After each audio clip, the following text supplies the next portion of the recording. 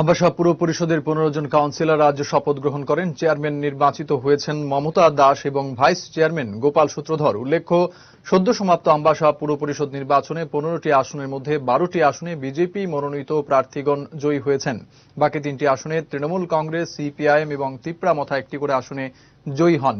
বৃহস্পতিবার শপথ গ্রহণ অনুষ্ঠানে শপথ বাক্য পাঠ করান প্রিসাইডিং অফিসার তথা মহকুমা শাসক বৈষ্ণবী ভি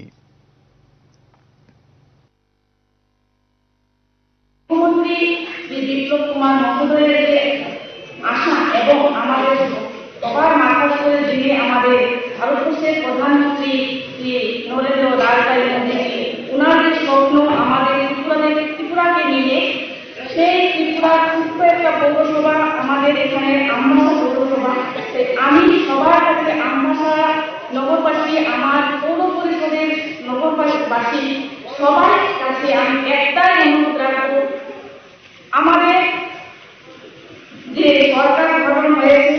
এই সরকারকে আপনারা একদম মন থেকে সহযোগিতা করবেন যাতে আমাদের বিপ্লব কুমার দেবকে যে আশা, ভরসা আমাদের আমরা পৌর পরিষদ শ্রেষ্ঠ পরিষদ হিসাবে একটা চিহ্নিত হোক।